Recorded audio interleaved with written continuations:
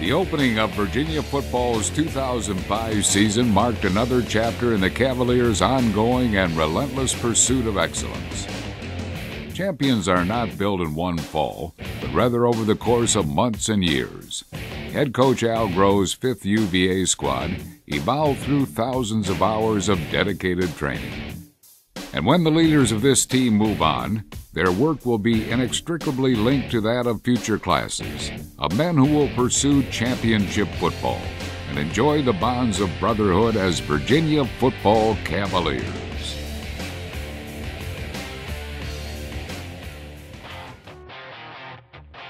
The 2005 squad took the field for the first time before a sellout Scott Stadium crowd against Western Michigan on September 3rd.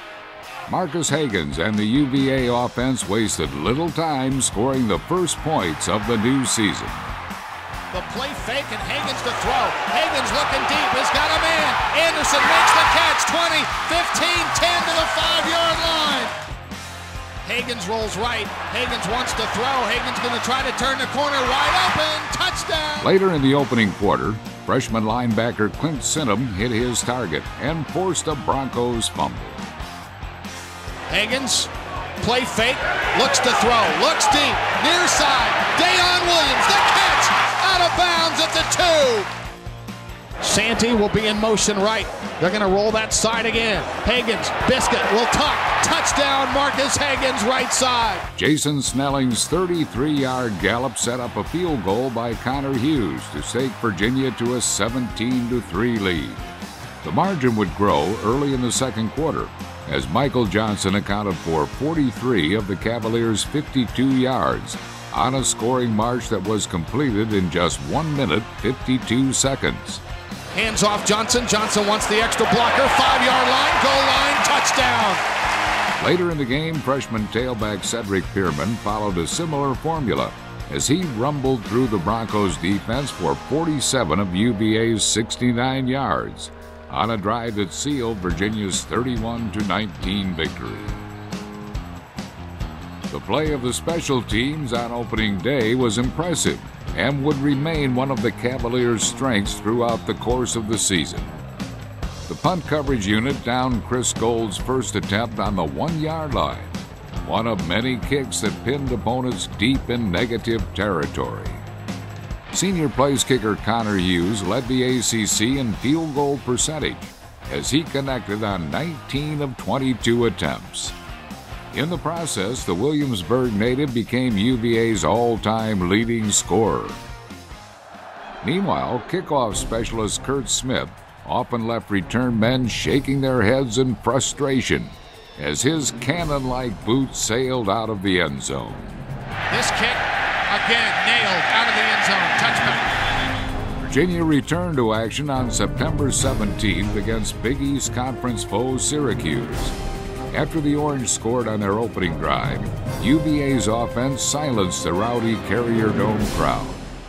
The highlight of the march was this magical 38 yard run by Marques Hagans. Hagans now will slip out and run 40, 45, midfield 50, 45, 40, far side 35, 30, still on his feet to the 20 yard line. Five plays later, Cedric Pearman fought his way into the end zone to tie the game at seven.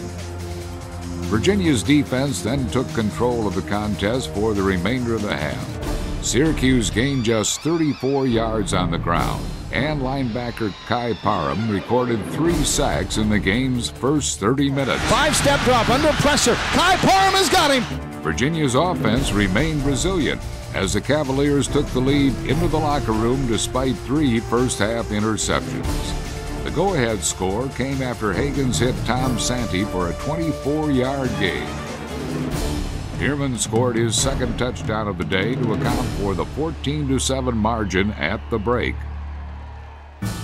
Syracuse pulled within three in the third quarter before tailback Michael Johnson quickly silenced the Dome. The handoff Michael Johnson, and Johnson slips around the outside 35 40. Goodbye! 50, 40, 35, 30, 25, 25. Touchdown, Michael Johnson! The game took on the atmosphere of a championship bout as both teams traded blows. Trailing 24 to 21, Syracuse faced a critical third and five at the Virginia eight yard line. Senior linebacker Mark Miller stuffed the orange attempt and force the tying field goal.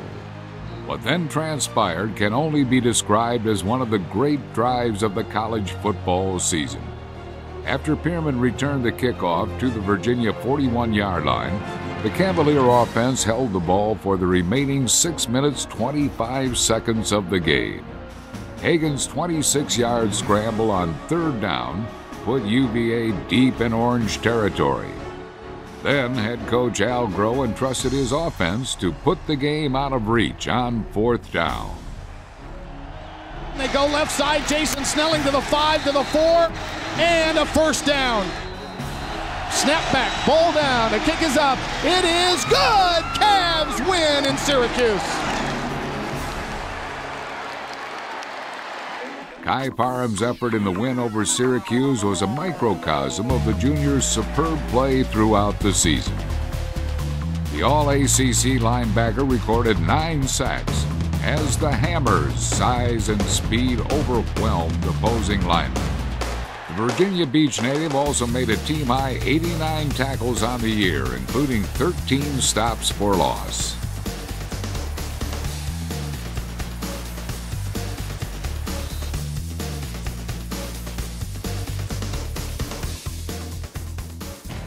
Parham was in the heart of the action when Virginia returned to Scott Stadium on September 24th to face ACC rival Duke.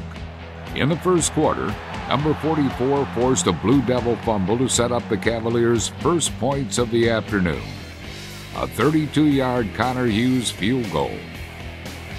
In the second quarter, Michael Johnson gained 45 yards on eight consecutive carries before Hagans went back to the air. Hagans to throw, three step drop, looks in the corner, man, Deyon, touchdown! Virginia's aerial attack continued in the third quarter as three consecutive TD passes turned the game into a rout. Three step drop over the middle, throws complete on that side, and it'll be the tight end. Wide right, play fake to Johnson. Higgins to throw over the middle, wide open. Deyon Williams, touchdown, Virginia.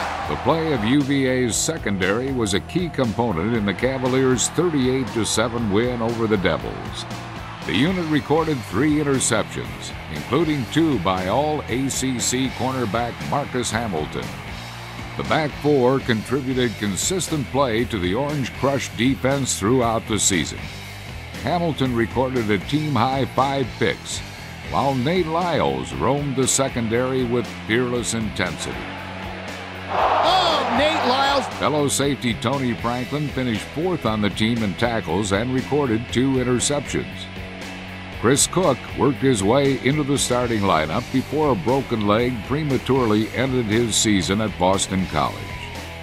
Meanwhile, Chris Gorham Mike Brown, and Jamal Jackson all logged more than 275 plays.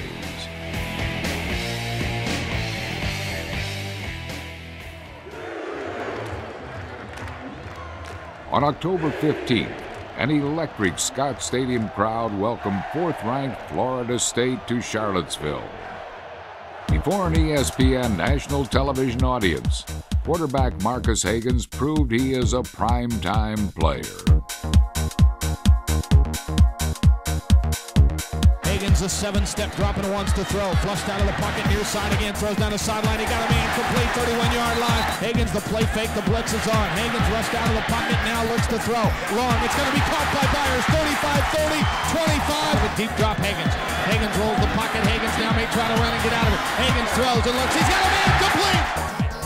Deep drop by Hagans. Hagans wants to throw. Looking deep. Deyon the Hagans finished the game with 306 yards passing and completed 75% of his throws. Afterwards, head coach Al Groh ranked Biscuit's performance as one of the finest he's seen by a quarterback. The senior's second touchdown pass of the game staked Virginia to a 23 10 lead.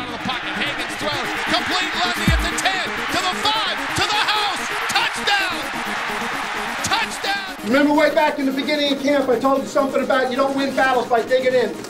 Remember? You win battles by attacking. If all you do is dig in, you become a target. I told the coaches, we're not digging in, we're attacking. Okay? But you're the principal attackers. Okay? It's not the play calls. Okay? We're going to make some calls to try to put you in a position to attack. We're going to make some calls to give you an opportunity to make plays. But the attacking nature of this half has got to come from the players, not from the coaches. Okay? Protect the football. Keep all receivers in front of you. Okay, we're looking for some strip sacks in the pockets. Okay, and play better than what you played in that half, and you'll win. Okay, keep making plays. Stay on the attack, fellas. That's how we're going to win. UVA stretched its lead to 16 when Connor Hughes made his fourth field goal of the game. A 45 yard boot on the first drive of the second half. The Cavaliers' game plan to attack the Seminoles extended to the defense as well. UVA's ferocious rush produced five tackles for loss and harassed FSU quarterback Drew Weatherford throughout the game. Planning outside by Keenan Carter. Virginia's memorable victory was sealed when junior Tony Franklin stepped in front of Weatherford's final throw late in the fourth quarter.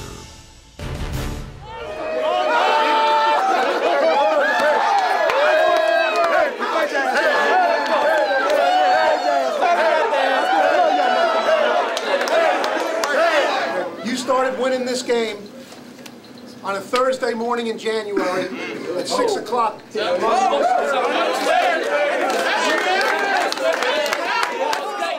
developed the toughness, the responsibility to each other, the depending upon each other during the course of that program, okay? And never doubt, okay, that that that is part of what you relied upon tonight to do that.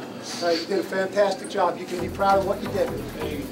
Hagans' jaw-dropping plays throughout the season earned the respect of his teammates and opponents across the ACC. The 5'10 Dynamo was a model of competitive toughness and determination. Hampton native could be counted on to successfully convert critical third down plays, to complete key passes, and to lead the team through its most difficult challenges. Virginia chose to put the offensive game plan in the hands of its line and running backs when Temple visited Charlottesville on November 5th. The Cavaliers' ground attack imposed its will early in this contest as Wali Lundy finished an efficient 13 play drive. Lundy five walks in, touchdown. Later in the first quarter, Jason Snelling plowed over all defenders and followed a caravan of blockers to find the end zone from 32 yards out. Jason Snelling just following. Lundy added an eight yard touchdown run to help extend UVA's halftime lead to 27 to nothing. Temple gained just 62 yards on its first 31 plays as Virginia's Orange Crush defense spent much of the first half in the Owls' backfield. And this time it's Chris Long. Blitz coming and right in the backfield and a terrific play. Cavaliers showing a blitz and it's a run blitz and boy they just stopped the ball carrier Coleman at the four yard line. Temple left to right here trailing by 17. Play fake. DeSanzo is going to be sacked. Come on Brooks. Brennan Schmid continued UVA's defensive dominance in the second half. During Temple's first possession, the senior captain recorded a sack and then capitalized on a rare opportunity. DeSanto out of the shotgun to throw. Third down, that ball batted up in the air, and it's going to be caught and intercepted. Brennan Schmid, it fell right in his lap. The ball high in the air, and Brennan Schmid cradles it like a baby. After a Lundy TD run, Schmid went back to work. DeSanzo hands off. Coleman tries to cut it ball. He has lost the ball. Cavs go after it like sharks. Lundy and Snelling scored the Cavaliers' fifth and sixth rushing touchdowns of the day in Virginia's 51 3 victory. Touchdown, Cavs. The intensity displayed by Brennan Schmid during the Temple game was commonplace for the McLean, Virginia native over the course of his remarkable career. He's going to be tackled back the seven yard line. Brennan Schmid made a terrific play in the backfield. Known as UVA's Iron Man, number 96 was a stalwart on defense and started a school record 51 games in four seasons. Schmid finished the year third on the team in tackles and was widely respected for his work ethic and intensity. Next year, it is expected that sophomore Chris Long will assume the leadership void on the defensive line left by Brennan's departure.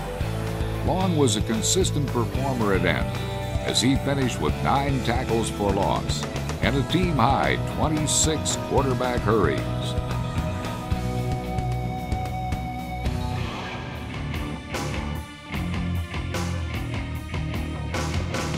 Virginia returned to ACC action on November 12th against longtime rival Georgia Tech.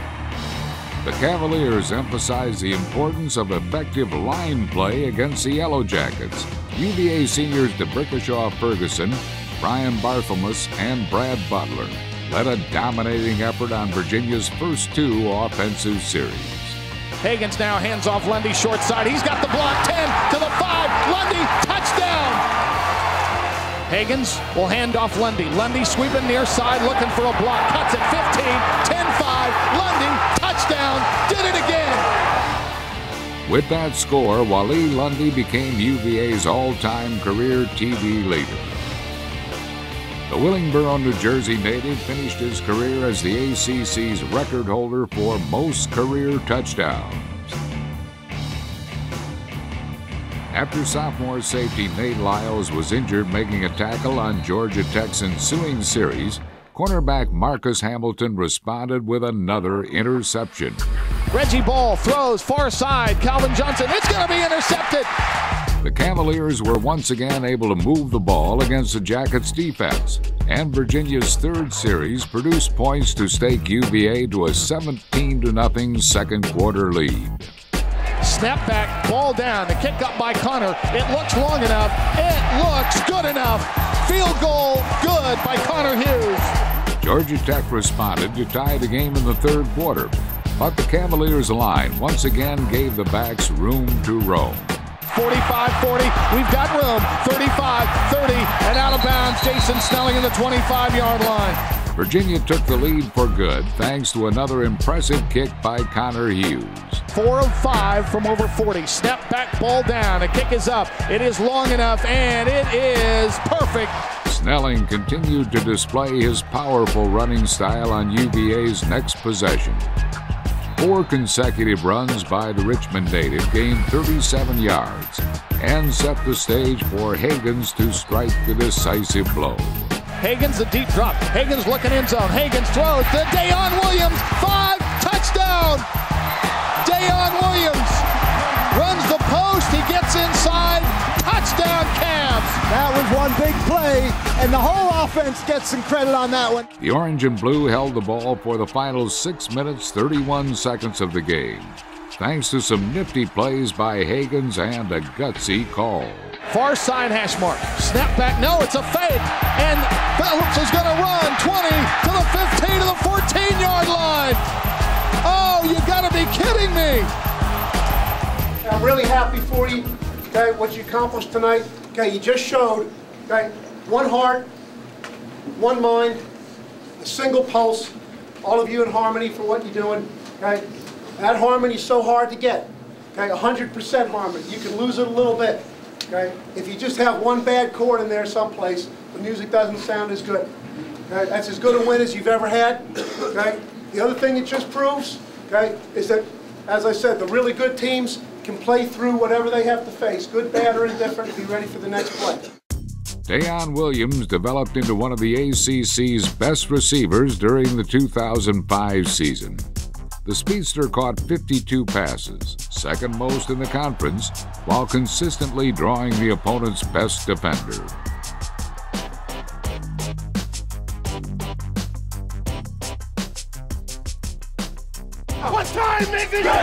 Virginia faced its third top 10 team of the season when the Cavaliers traveled to Miami on November 26. UVA was prepared to meet the Hurricanes head on. Trailing 3 to nothing in the first quarter, the coaching staff reached into their bag of tricks. From the 10 yard line on a second down call.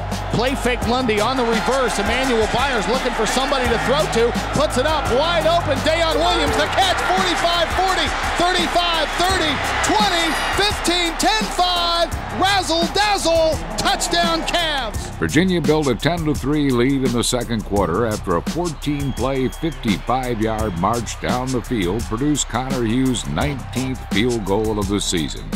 Snap back, ball down, the kick is up, and Connor Hughes nailed it. Miami seized the lead late in the half, but the Cavaliers remained within striking distance throughout this hard hitting contest.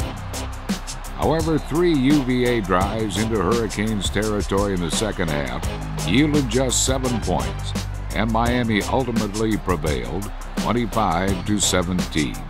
We played well. We didn't play well enough to win, but we certainly played well.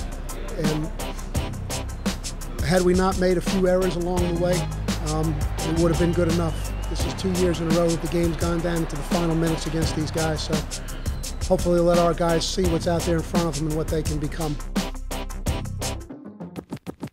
Virginia closed the 2005 season in Nashville's Music City Bowl. This is an emotional game for us here today. Okay, this is an opportunity for us to prove something. Okay, we're going to have to prove it on every play. It's going to be that kind of game. Your resiliency, your intensity, the juice you bring, the toughness, the heart that you have, the will to win will be tested on every play. Remember what we started back in January, okay? That nothing can stop the power of team. Lundy, the lone running back. Play fake and Hagans to throw. Hagans looking near side. Wide open Byers, the catch 28. Six of Minnesota. Play fake. Hagans lobs, end zone, Deyon, touchdown. Touchdown, Virginia. They go to Russell. Russell, the running back, and he is going to be hit behind the line. Under pressure, throws, corner blitz, and he got whacked from behind.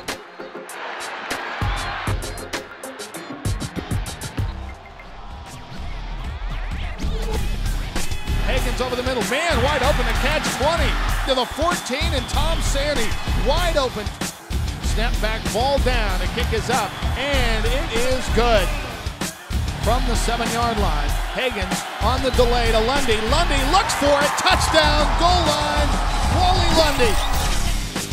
Ehrman, the lone running back for Hagans. Five step drop and stays in the pocket. Looks over the middle. Man wide open. Santi 40, 35 30, 25 to the middle of the field. Under center, Hagans.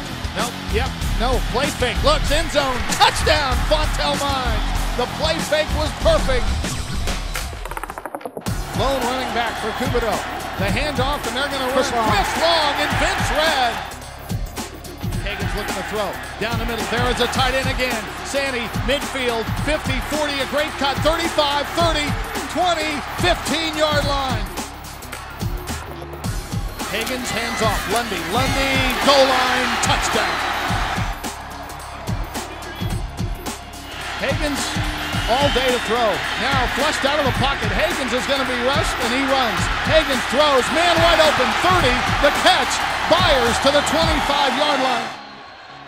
Inside the 30 yard line for Connor Hughes. Snap back, ball down. The kick is up. It is long enough. It is perfect. 34, 31, and 45 ticks left. Cupito to throw.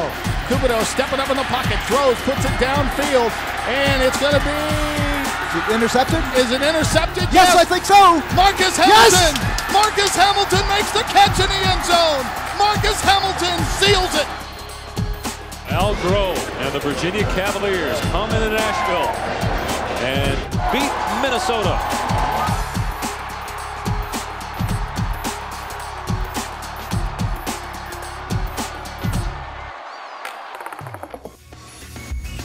Although the 2005 Virginia football team did not meet all of its desired objectives, the squad continued to build the foundation for future success. Many of the seniors will join their former teammates in the NFL, and the recruiting class of 2006 will soon take their place to help continue the program's pursuit of championship football.